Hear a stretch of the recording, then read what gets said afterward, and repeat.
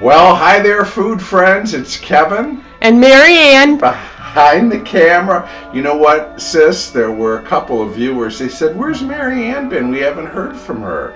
Well, here you are. I'm she's here. she's right there, helping out with the camera, and we've got some nice Christmas music on the hi-fi, and we're getting ready to make a batch of cookies that we'll share um, with friends and family when they come over during the holidays. These are thumbprint cookies.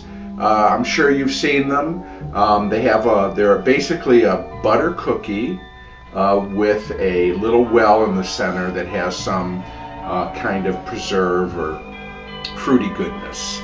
So we're going to make apricot thumbprint cookies, but first we have to make the dough. So here's what we've got, Mare. I've got uh, almost two cups of butter here. I've got one and three quarter stick. Okay? Okay. So that's like uh, eight and six is what? 14 tablespoons of butter at room temperature, unsalted, please. Then I've got uh, three quarters of a cup of sugar. All right? Okay. Then we're going to put in a little salt, a quarter teaspoon. This is a really basic butter kind of cookie recipe. Oh, and vanilla. I'm going to put in two teaspoons of vanilla extract. Um, Could you do a cutout cookies instead of? yeah, you could do pinwheels, you could do cutouts, you could take this in a lot of directions, which is nice. So this is just sort of, think of this as sort of a kind of a foundational um, dough, okay, that different directions. So let's put this in. We're going to kind of cream this together, get it well combined. Uh, I'm using our stand mixer, of course, but you can get a shot in there, honey. You can see it kind of coming together. You could definitely use your hand mixer if you didn't have a stand mixer. That's okay. And you just want to kind of get this combined. It doesn't need to get creamy or fluffy, but you just do want it to get nice and combined. Gonna, I'm going to do one scrape down. So we're gearing up for the holidays. We had a nice dumping of snow here in Detroit yesterday. What was it, Mare? I think about 10, 10, 12 inches of snow we Yeah. got yesterday. Okay. All right. So I've got one large egg here. Okay. So what I'm going to do is we're going to add the egg now to the dough. Just get that in.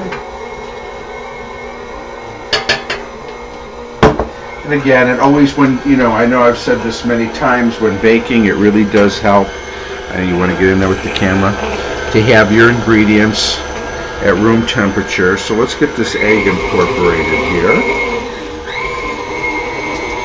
Oh, you can smell the butter and vanilla, can't you, huh? Yes, you can. Yeah, okay.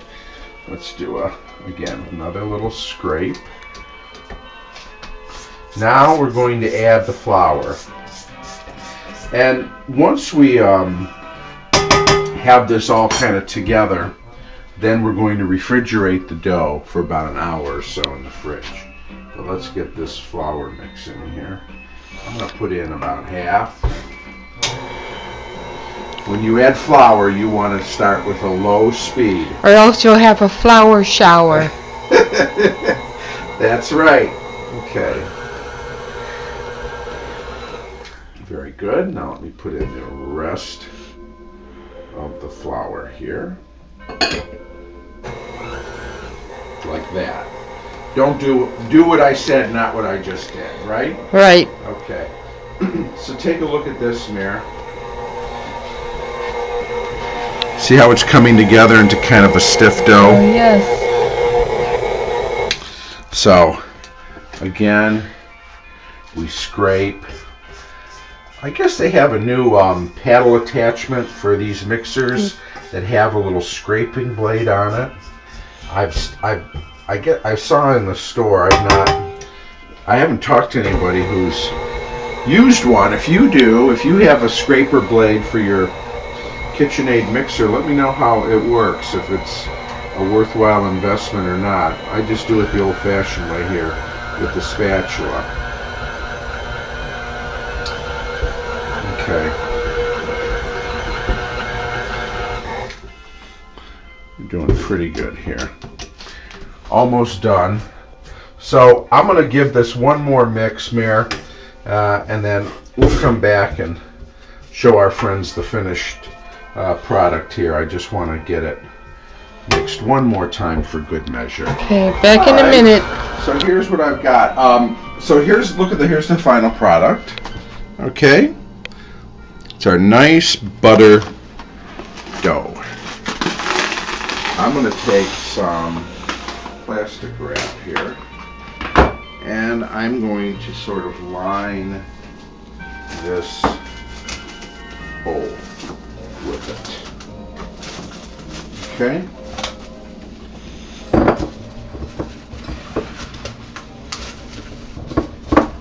Then.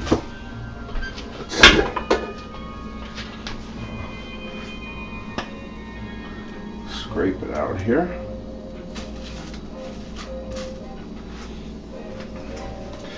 See, the reason you need to chill this is because the dough, frankly, right now is just too soft to work with.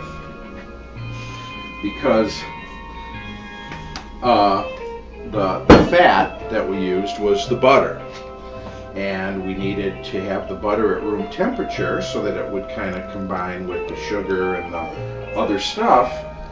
But the butter now has made it too soft. So what we want to do is we want to chill this for an hour at least. Um, you could have it chill for longer if you wanted, but an hour's good in the fridge. And then now I'm just going to kind of cover it. And then it'll be um, soft enough to really, or hard enough, firm enough to work with, okay? So, dough's done. Uh, we're going to get our apricot preserves that will serve as our filling. And we also roll the cookies in some finely chopped almonds. Uh, you could also use walnuts if you wanted. I'll see what I've got in the pantry. and Pecans we'll- would be good too. Pecans would be excellent. Always a good suggestion there, sis. So we'll see what we've got lying around. We'll okay, we've had the uh, dough in the fridge for, oh, it's been over an hour, hasn't it, Mare? Yes, it has. Okay, so here we go. Um, I had walnuts, so you know what? We've got about a cup here of um, just finely chopped walnuts. Again, Mare, you suggested we could use pecans. We could also use almonds, um, but you want them chopped chopped fine like this. So here, because here's how we're going to do it now. Now the dough now is much stiffer. So I'm going to make a ball about like this. I don't know, what would you say that is, Mare? Um, a big gumball, maybe? Size? Yeah. One of those quarter size gumballs. Yeah. Then I'm going to just roll it in the nuts there. Okay? Again, they won't all be the same size, but we'll we'll kind of shoot for that. So we're just rolling and and then we're giving it a little nut bath here. So I'm going to try to get probably a dozen on each um, baking sheet. We've got the oven preheated to 350 degrees. So that's where you want to put it. Again, I'm just rolling in, in a ball and then, whoop, and then putting it on the cookie sheet. Now, how do we get the apricot in there? Once we get all these rolled, we'll go back and we'll put the indentation and we'll start filling, okay? Okay. So, let me get these rolled and we'll be back.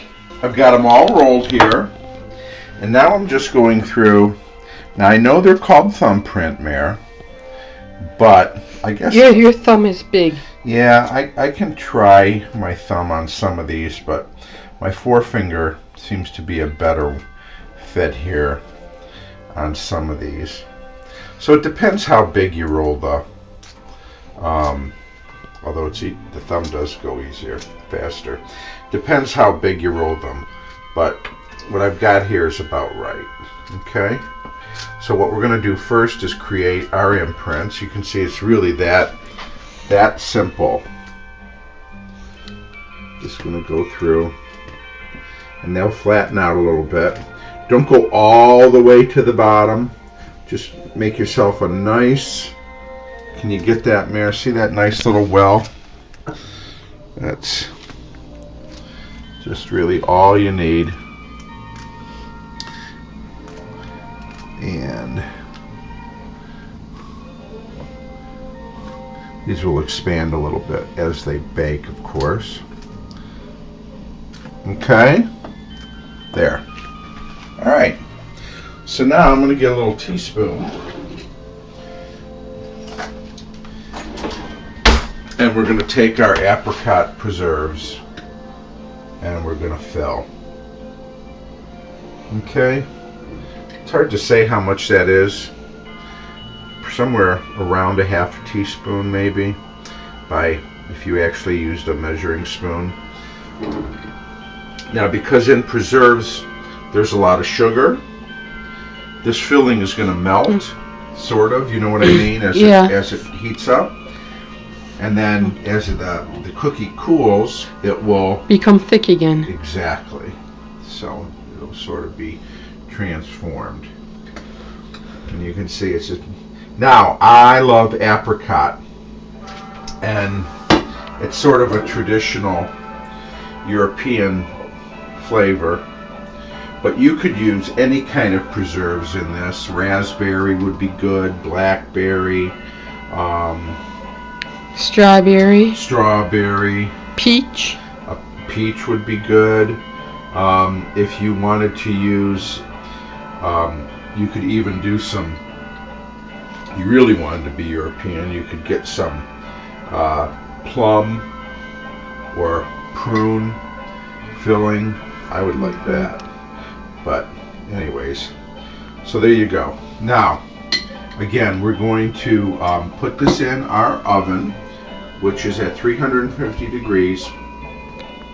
These are going to bake somewhere between 15 and 18 minutes. We'll just keep an eye on them, okay? Uh, and I'm going to do two sheets at a time here, so we'll get these.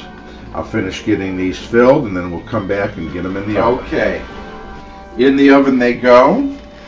Again, we've got them on parchment, and uh, we'll check them in about 15 minutes. See how they're doing. Apricot thumbprint cookies for I'm starting to smell them, huh, Maren? They smell good. Okay, they have been in for 18 minutes. And we're gonna, yeah, you can see how the, I don't know if you can tell, it's getting close to that apricot filling. You'll see it's almost kind of bubbly a little bit. Yes. You see? Uh huh. All right. So we're going to let these, and of course you can see how they've expanded. So we're just going to let these cool for about two minutes on the cookie sheet. Then what we'll do is we'll transfer them to the wire rack uh, for complete cooling. Um, and then uh, I'll do one more batch. So it looks like we're going to get about four dozen roughly out of this recipe. Um, and then uh, if I can refrain from eating too many of them, we'll put the rest of them uh, in storage uh, until uh, we have company for holidays.